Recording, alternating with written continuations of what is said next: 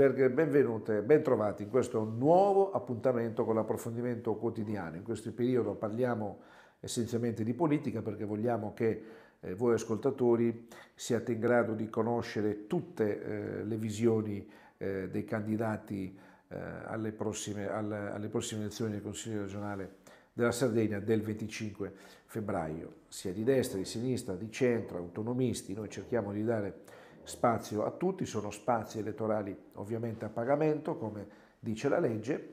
Oggi abbiamo con noi un, un graditissimo ospite che arriva da un paese vicino qua ad Alghero, molto legato ad Alghero.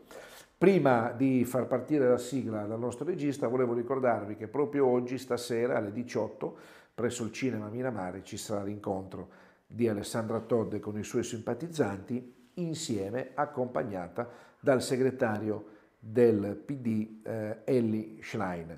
Alle ore 17 presso la sede dei riformatori in Via Verdi ci sarà un importante incontro con il candidato Francesco Marinaro e i vertici eh, dei riformatori sardi Pierpaolo Vargiu e Michele Cossa che parleranno di un'importante iniziativa legata al mondo dei nuraghi per essere riconosciuti dall'UNESCO. Cara regia, salutiamo il nostro regista eh, Paolone meraviglioso, salutiamo il nostro assistente di studio Giuseppe Iurato, mandiamo la sigla e dopo scopriamo chi è l'ospite di oggi.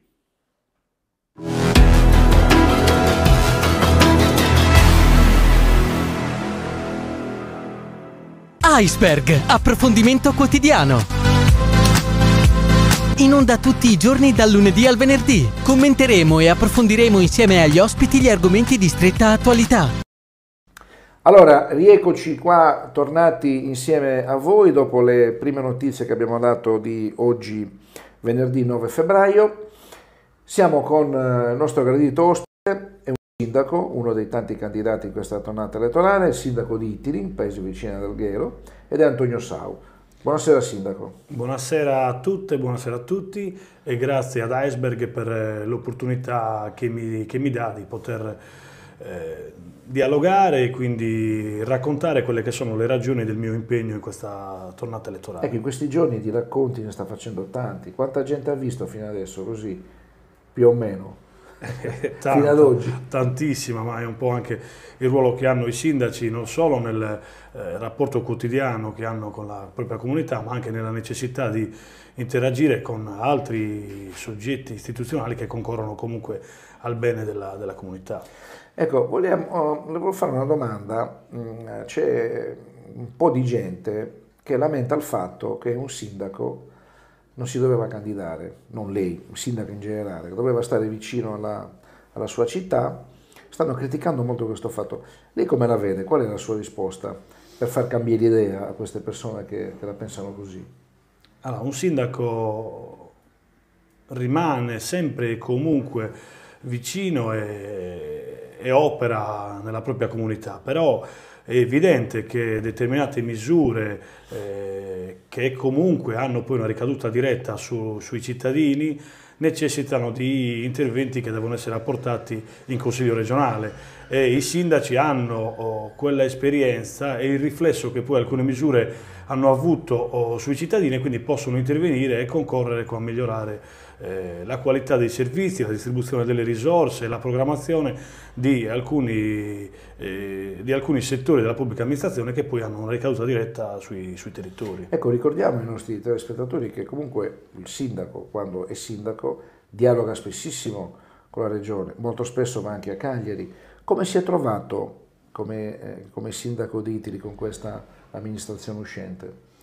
Male, male perché la maggior parte delle risorse, basti vedere le leggi omnibus o gli emendamenti alla finanziaria, sono state distribuite in maniera assolutamente discrezionale, senza che ci fosse un coinvolgimento dei sindaci magari attraverso l'ANCI, senza che ci fosse un programma generale da parte dell'amministrazione regionale che poi potesse essere interpretato e realizzato anche eh, nei territori, male perché è stata una stagione particolare, il PNRR è un piano di sviluppo importante, vale molto di più di quello che era stato il piano di rinascita e ci saremmo aspettati che eh, l'amministrazione regionale lo avesse condiviso nei territori, con i sindaci, con le Camere di Commercio, con tutti quegli attori che poi concorrono alla realizzazione di un programma così importante di sviluppo che una, dovrebbe avere una visione lunga, eh, medio-lunga nel, nel, tempo e che eh, presuppone la responsabilizzazione dei, dei territori. Non è, non è avvenuto assolutamente. Parliamo di un tema caro al nostro territorio, soprattutto al nord-ovest. Ne ho parlato anche con gli altri eh, candidati che si sono alternati qui. I trasporti. Questa è una domanda fissa che io faccio perché voglio capire un attimino come eh, lei come sindaco e, e come politico qual è la sua visione. Allora, noi ci stiamo mettendo, ci siamo messi in mano a un singolo vettore aereo che ha quasi, per non dire tutto il monopolio delle, delle tratte. Sto parlando di Ryanair. Come vede questa cosa? La vede positiva oppure stiamo andando eh, eh, contro un, un, monopolista, cioè stiamo andando verso un regime monopolista che alla fine ci creerà dei problemi, come è stato in passato quando avevamo l'Italia? Io credo che l'operatore economico, il soggetto economico debba fare eh, il soggetto economico, ma che ha eh, potuto colmare quelli che sono stati i vuoti di programmazione che sono responsabilità della politica. E quindi eh, diciamo, non, il governo regionale non ha esercitato il ruolo di programmazione, il ruolo di eh, pianificazione di quella che deve essere la mobilità dei sardi e non solo dei sardi, perché eh, bisogna comprendere che la Costituzione stabilisce che eh, lo Stato rimuova tutti quelli che sono i limiti al libero sviluppo e alla crescita dei, dei, dei, degli italiani. E il fatto di non avere una mobilità uguale a quella dei nostri connazionali è sicuramente un limite che deve interrogare la, la, la, classe, la classe, dirigente. Inoltre eh, anche l'aver riconosciuto il diritto all'insularità è sicuramente uno strumento per riuscire a far leva su quelli che sono gli strumenti di compensazione che eh, i sardi dovrebbero avere rispetto alle difficoltà che hanno nel raggiungere il, eh, il continente, ma allo stesso modo le difficoltà che hanno nell'essere raggiunti, perché è evidente che la mobilità in entrata e in uscita deve essere garantita ai sardi e ai non sardi e questo è il modo per eh, dare opportunità e valorizzare il nostro territorio e anche per garantire quella che è una crescita culturale e sociale che eh, insomma è un diritto dei sardi. In questi anni questo non è avvenuto, innanzitutto perché c'è stata poca autorevolezza rispetto ad una interlocuzione che la Regione deve avere sia con il governo centrale ma anche con il governo europeo. Perché e siamo anche... stati deboli in questa interlocuzione? Ma siamo stati deboli, siamo stati deboli perché non siamo riusciti a far valere i nostri diritti sanciti dalla Costituzione e rafforzati dal riconoscimento dell'insularità e anche perché poi alla fine le, le, insomma, gli obiettivi e le priorità che un'amministrazione regionale vuole raggiungere sono rappresentati dagli stanziamenti economici e stanziare sulla continuità territoriale 25 euro ad abitante è una cifra irrisoria se rapportata a quello che viene, eh, che viene stanziato da altre eh, regioni e nazioni eh, penso alla, a quello che è in Corsica per la Francia o alle, o alle, o alle regioni Baleari. Ba, alle Baleari. Parliamo di, di un'altra cosa fondamentale riguardo ai trasporti, dopo cambiamo tema, l'unificazione degli aeroporti.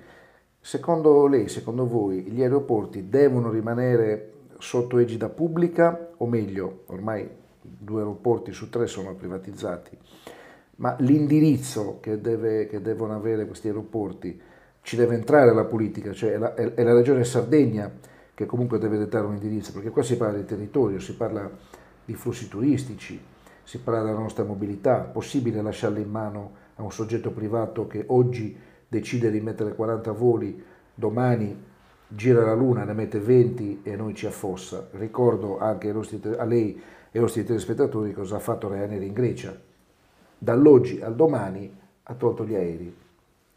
È ovvio che l'amministrazione regionale deve incidere su quella che è la politica di gestione dei trasporti e quindi delle rotte eh, e anche, eh, anche delle, delle, merci. Eh, perché? Perché eh, è un servizio pubblico, è un servizio che, eh, non è, eh, che, non è, staccato da quello che è eh, lo, spazio dei diritti, delle opportunità, della pianificazione anche di uno sviluppo che una regione vuole, vuole realizzarsi e la mobilità è sicuramente un elemento che caratterizza in termini positivi o negativi quello che è lo sviluppo di un territorio e quindi di una regione.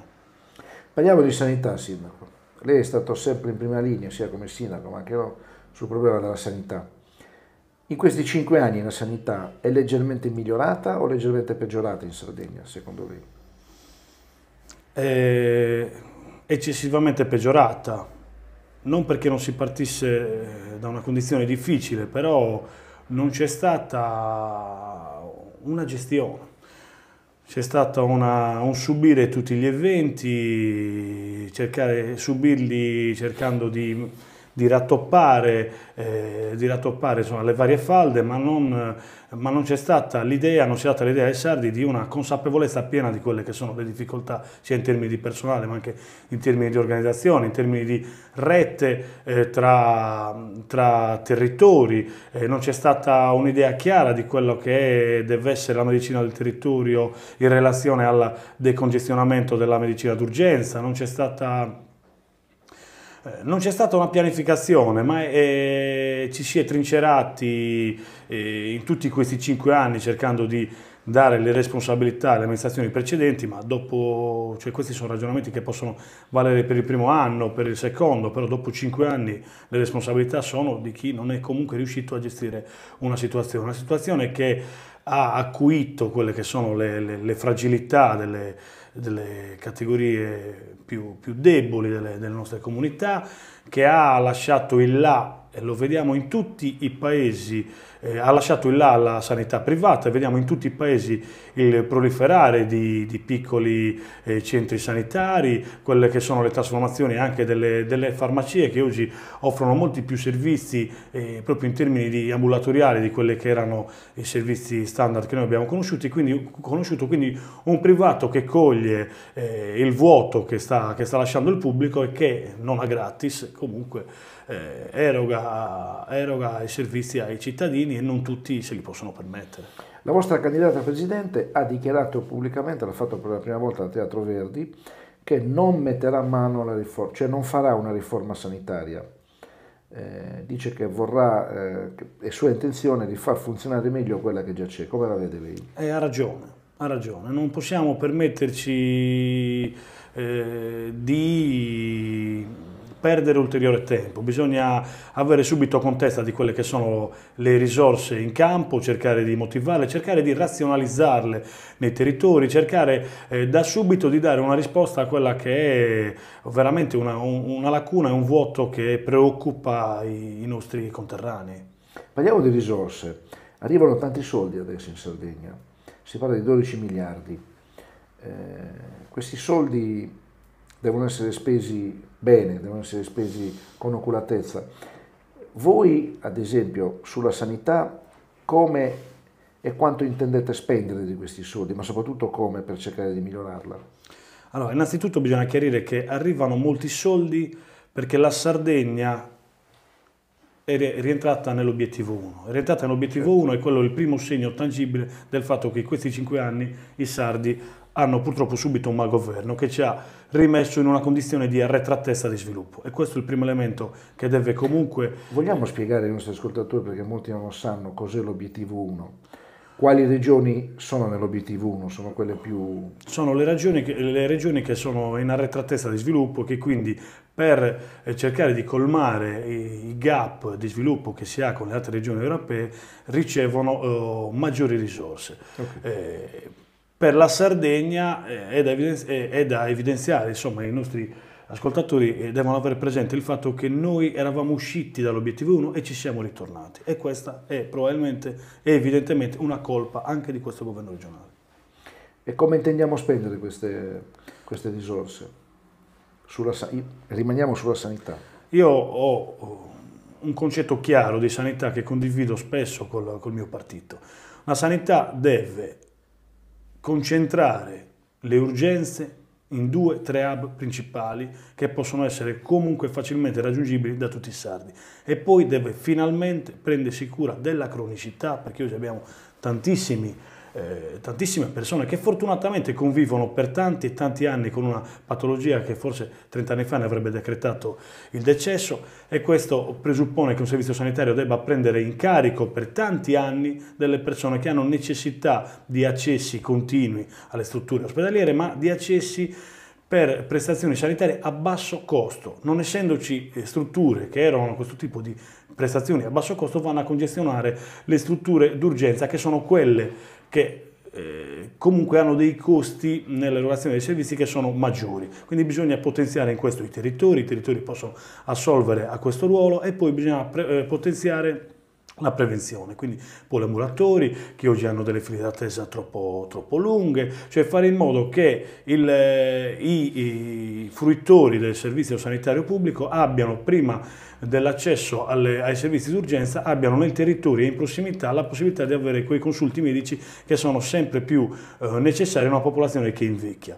Eh, un aspetto importante che dovremmo contemplare è la presa in carico vera ed effettiva di tutta quella che è la sfera delle, eh, delle patologie psichiatriche che oggi purtroppo uh, non, non, eh, non, hanno una presa in carico vera, che sono purtroppo uh, sono un po' trascurate. Sono trascurate, condizionano negativamente quella che è la vita delle nostre famiglie, eh, che non trovano risposta adeguata, non solo in termini di erogazione di terapie sanitarie, ma anche in termini di eh, valorizzazione eh, delle, delle, persone rispetto ad abilità residue, rispetto ad attività che comunque possono gratificare e dare eh, dignità a, a, chi oggi è affetto da patologie psichiatriche e dobbiamo anche avere eh, presente un aspetto eh, sempre più uh, alcune di queste sono determinate comunque da poliabusi che sono sempre più frequenti nei nostri giovani, da questo punto di vista dovremmo eh, attivarci sia con iniziative di prevenzione rispetto a questo tipo di condotte, ma anche con la consapevolezza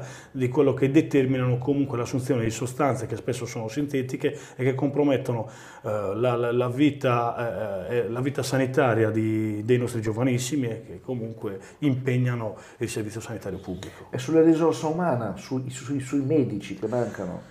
I medici mancano uh, e quindi bisogna, e da questo punto di vista uh, se ne è preso atto, bisogna investire sulla, sulla formazione dei medici, eh, però allo stesso tempo quelli che ci sono vanno sgravati di alcuni oneri che eh, ne ne, ne, ne, non ne fanno oh, fruire efficacemente i, i nostri i cittadini perché troppi medici di base oggi sono oberati dalla burocrazia, eh, passano più tempo su, sulle, sulle, carte che non invece a contatto con, con i pazienti e quindi insomma, anche da questo punto di vista bisognerebbe e bisogna pensare ad un supporto in termini di segretariato e far sì che i medici finalmente riescano a fare i medici. Avete anche in mente di pagarli di più questi medici?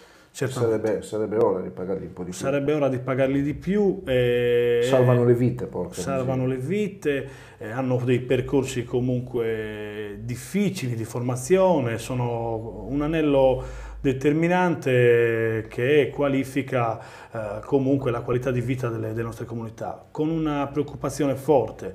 La riforma che ha in mente lo Stato, l'autonomia differenziata, eh, può e potrà, se andrà in porto, spero di no, consentire alle singole regioni anche di decidere eh, di aumentare singolarmente eh, gli stipendi ai medici. Questo potrebbe determinare una migrazione dei medici verso le regioni più ricche. Si crea un mercato, insomma. Si crea un mercato. Come calciomercato. Esattamente, e in una ragione, e, e quindi si sgretola il, il concetto proprio di di servizio da rendere a, a, in maniera efficace a, tutta, a tutto il territorio nazionale. Insomma, bisogna investire un sacco di soldi. Io, secondo me, dico che la sanità in Sardegna ha la priorità assoluta. Sanità e istruzione. Sanità, e istruzione. istruzione. Adesso parliamo di istruzione. In Sardegna c'è un'alta percentuale di abbandono scolastico eh, l'istruzione è un pilastro insieme alla sanità, insieme all'ordine pubblico. Che cosa avete? Qual è, qual è la sua, adesso lasci stare l'idea del partito, la sua idea personale sull'istruzione, qual è?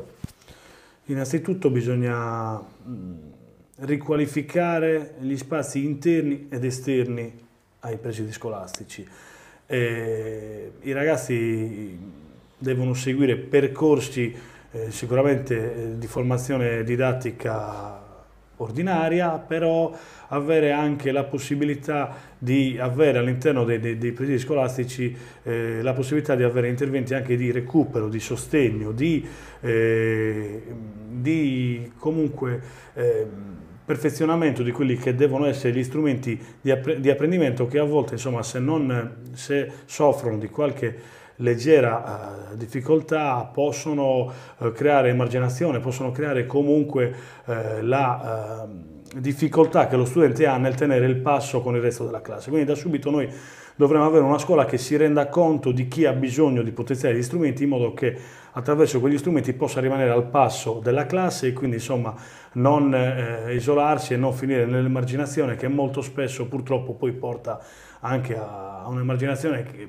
più ampia che determina anche altro tipo di problemi all'interno delle comunità che poi si riverbano anche su, so, su condizioni comunque di, di, sofferenza che poi stanno alla base del, della, insomma, del, delle difficoltà di convivenza sociale tra, tra dei, dei rapporti interpersonali, sì. In questi giorni, Sindaco, abbiamo visto, non abbiamo mai visto così tanti trattori in giro per l'Italia, per l'Europa. Parliamo di agricoltura, perché alcuni ascoltatori ci hanno un po' criticato, cara regia, che noi parliamo poco dell'agricoltura e oggi parliamo di agricoltura. Eh, lo facciamo con un sindaco di un paese di cui l'agricoltura famosa per i, per i carciofi, e non solo, ma anche per il formaggio. Avete una cooperativa fantastica che fa un ottimo formaggio. Ecco, l'idea sua dell'agricoltura, cioè perché questi, questi, eh, questi allevatori, queste insomma, persone che vivono, eh, che vivono dall'agricoltura, insomma dal, dal, lavoro della terra, si lamentano così tanto? Cioè la, eh, questa riforma dell'IRPEF che ha fatto il governo Meloni era proprio necessaria farla, cioè togliere questi sgravi dell'IRPEF. Sappiamo che in agricoltura sì, ci sono tanti, ci sono dei sostegni, però insomma una vita dura, basta anche una stagione che magari non piova per niente o piova troppo, eh, è un raccolto se ne va a farsi benedire. Come la vede lei questa cosa qua? Ma io innanzitutto voglio esprimere proprio la massima solidarietà al comparto. Qua in Sardegna, io parlo del nord-ovest della Sardegna, chi oggi opera in agricoltura fa agricoltura eroica, perché le aziende agricole sono completamente o quasi completamente eh, prive di infrastrutture, basti pensare insomma, a quelle che sono le strade di penetrazione agraria, l'elettrificazione, le difficoltà che ancora in troppi territori si ha nel poter attingere alla risorsa principale che è l'acqua, eh, tutto quello che ha determinato e che determina ogni aumento energetico, eh, l'essere poi eh, soggetti più di altre attività a tutti i cambi climatici che comunque sulle, sulle produzioni determinano un danno, un danno, importante. Ma perché siamo arrivati a questo punto? Cioè, ma, ma è possibile che nessuno, sia, cioè nessuno capisca che mangiare bene, perché non è che ci troviamo tra poco tutti a mangiare insetti, larve, la carne sintetica. Purtroppo colpevolmente, eh, ma soprattutto in Sardegna, non si è mai visto eh, nel settore, nell'agricoltura, eh, un settore strategico per dare benessere alle nostre comunità. Basti pensare a quello che è anche eh, il fatto che, insomma, che, siamo riusciti in questi anni a sconfiggere, a debellare la peste suina, non c'è stata nessuna politica che abbia favorito questo tipo di, di mercato, il mercato della, e la trasformazione delle, delle, carni suine che in tante regioni danno diversi punti di PIL. Eh, la gente si chiede perché non l'abbiamo fatto. Non l'abbiamo fatto perché non ci abbiamo creduto, perché non, non, non vediamo, uh, l'amministrazione la, regionale non vede in quel comparto uh, un settore strategico per creare sviluppo e benessere alla E allora vado ancora più a fondo, perché non lo vede? Per questione di competenza, per questioni di... non lo so, cioè a questo punto la gente si chiede, ma insomma dall'agricoltura, siamo nati dall'agricoltura, viene fuori il pane, il grano, la carne, tutto. Come mai c'è, questa mancanza? Cioè, no, non, poca... Secondo me è una mancanza di competenza. è una è mancanza di competenza, di attenzione e anche proprio di, di, di, di programmazione. Cioè in agricoltura in questi cinque anni non si è fatto niente. Non si è fatto niente e il poco che si è fatto in passato è stato, uh, è stato la gestione dei, dei, dei, PS, dei PSR, ma non, non c'è stata una, veramente una... Uh, programmazione eh, politica che facesse eh, emergere eh, la, gli investimenti in agricoltura come strategici per tutta la regione. Ed è evidente se andiamo a vedere le nostre aziende, le nostre aziende sono ubicate eh, e sono anche difficilmente raggiungibili, eh, gli operatori hanno praticamente dei mezzi eh, che, che, utilizzano, sono dedicati solo al, al trasporto nelle, nelle proprie aziende perché alla fine bisogna sacrificare il mezzo per andare in campagna. Io vedo quello che è la difficoltà di gestire con le poche risorse che ci vengono date. A Iti abbiamo 200 km di strada di penetrazione agraria, ma eh, in regione 200, 200 km di strada di penetrazione agraria e quindi insomma, seguirle con, con le risorse del fondo unico è difficile e impossibile. Noi cerchiamo di fare il massimo, però c'è bisogno di investimenti regionali forti perché oggi chi va in campagna, chi vuole attrarre in agricoltura intelligenze, chi vuole attrarre competenze, eh, deve innanzitutto infrastrutturare e consentire delle condizioni di vita, anche dal, proprio dal punto di vista fisico, dal punto di vista mentale, che siano comunque sostenibili. Oggi io parlo e ribadisco, si fa agricoltura eroica. Perché poi è tutto collegato al, al turismo. Io adesso vi racconto un fatto, sarò velocissimo. A, dicembre sono stato per lavoro a Seulo. Sa dove è Seulo? Sì. Nel cuore della Barbagia. Salutiamo l'amico Enrico Murgia, sindaco di Seulo.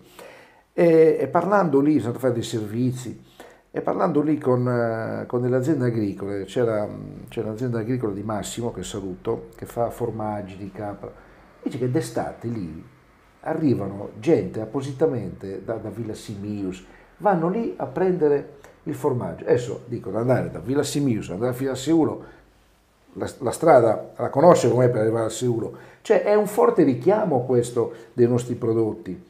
Come mai allora dico, invitiamo e, e la invito a cercare di essere, eh, diciamo così, più persuasivo, di agire con una forte moral suasion verso eh, il prossimo Consiglio regionale, perché la gente chiede queste cose.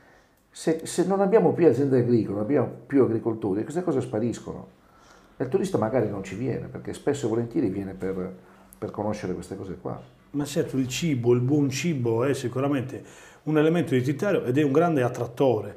Se poi pensiamo che queste aziende molto spesso sono anche ubicate in eh, territori che sono anche ricchi di storia, ricchi di attrattori eh, culturali che sono purtroppo abbandonati e che invece potrebbero rafforzare eh, le nostre aziende anche in termini di, att di attrattività. Eh, se penso che oggi insomma tutto quello che è l'opportunità anche di far conoscere le nostre aziende, i nostri territori attraverso, attraverso la rete in tutto il mondo, eh, bisogna puntare sulla raggiungibilità di questi, di questi luoghi eh, e, tutto, e, e, ci vuole insomma, un, un, insieme di politiche di sistema che, passano, che partono dalla mobilità alla pianificazione urbanistica in termini poi di individuazione degli spazi nei quali comunque eh, creare strutture ricettive, eh, le politiche ambientali, eh, le politiche energetiche, perché eh, è impensabile anche che non ci sia un governo e una pianificazione del, del, del territorio anche in termini di maggior produzione di energie da rinnovabili che non contempli la presenza di aziende eh, e quindi insomma che trovi una, una, compatibilità tra quello che deve essere lo sviluppo eh, agricolo e ricettivo e quello che deve essere il, eh, il rafforzamento della produzione da energie rinnovabili. E anche da questo punto di vista io non ho notizie e informazioni di una stagione di pianificazione. Eh, da, da, questo punto di vista e questo è sicuramente una lacuna, una lacuna molto molto grave che dovrà essere colmata subito.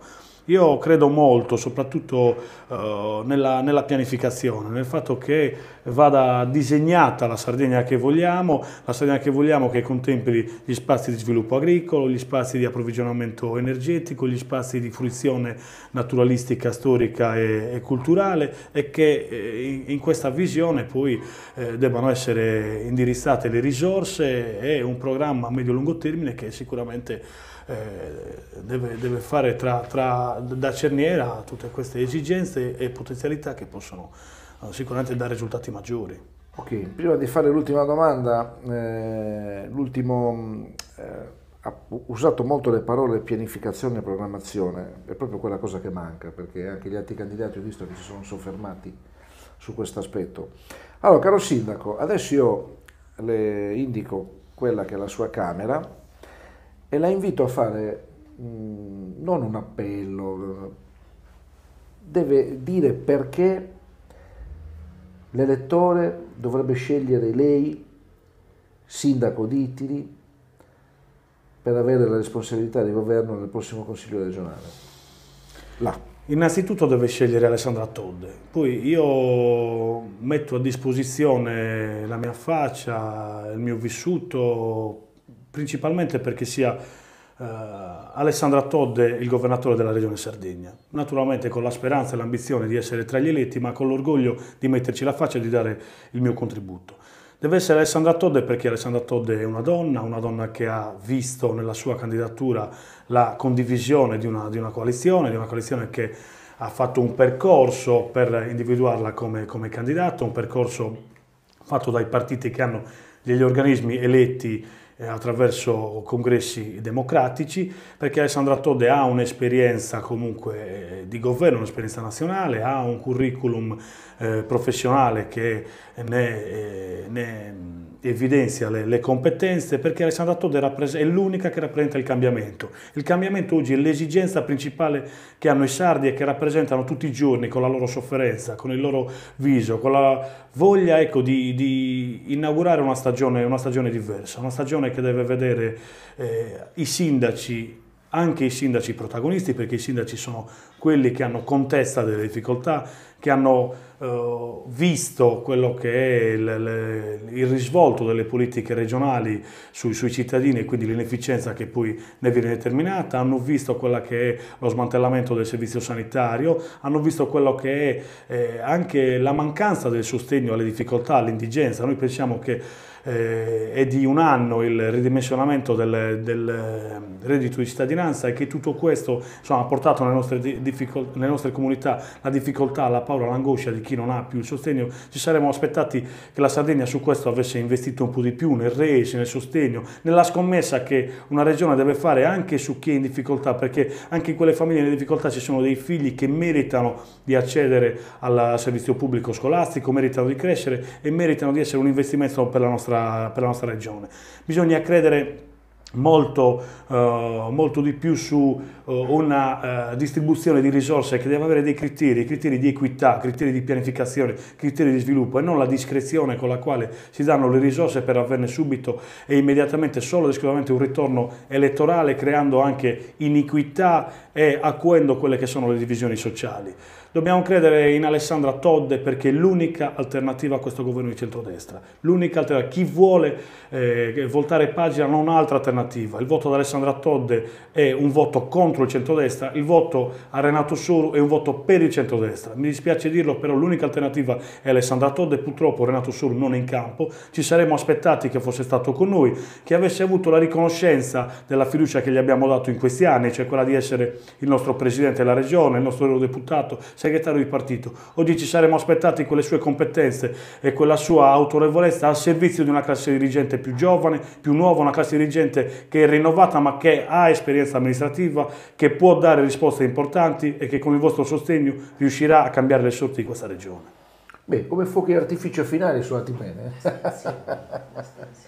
bene, noi ringraziamo il sindaco di Antonio Sau e gli auguriamo ogni bene, eh, le auguriamo veramente vivamente che lei possa essere eh, in seduto in quei 60 posti del Consiglio regionale della Sardegna. Consentitemi una battuta finale, ve lo auguro anche io. Grazie. Alla prossima puntata, la prossima settimana avremo con noi Piero Maieli. Arrivederci. Arrivederci Sindaco.